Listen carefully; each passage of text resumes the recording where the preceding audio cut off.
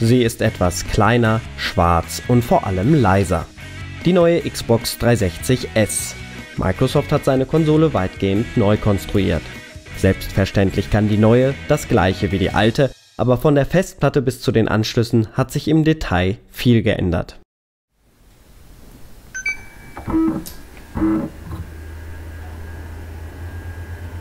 Die wichtigste Änderung, die neue Xbox ist wesentlich leiser, jedenfalls dann, wenn das DVD-Laufwerk nicht aktiv ist. Wer seine Spiele fleißig auf der Festplatte installiert, kann lärmfrei spielen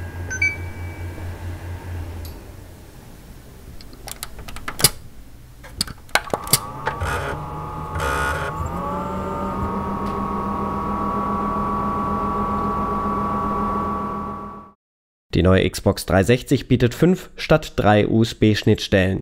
Außerdem verfügt sie über einen HDMI-Anschluss und einen optischen Audioanschluss.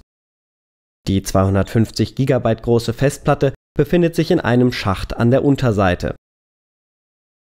WLAN ist integriert und unterstützt den aktuellen Standard N, beschränkt auf das 2,4 GHz Band. Bei der Leistungsaufnahme ist die neue Version genügsamer als frühere Modelle unter Last, in diesem Fall beim Intro von GTA 4, zeigt das Messgerät 61 Watt an.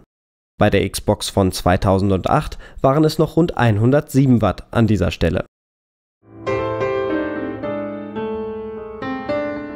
Wer sich eine neue Xbox 360 zulegen möchte, sollte unbedingt zum neuen Modell greifen. Allein schon wegen der niedrigen Leistungsaufnahme, der großen Festplatte und dem integrierten Wireless LAN.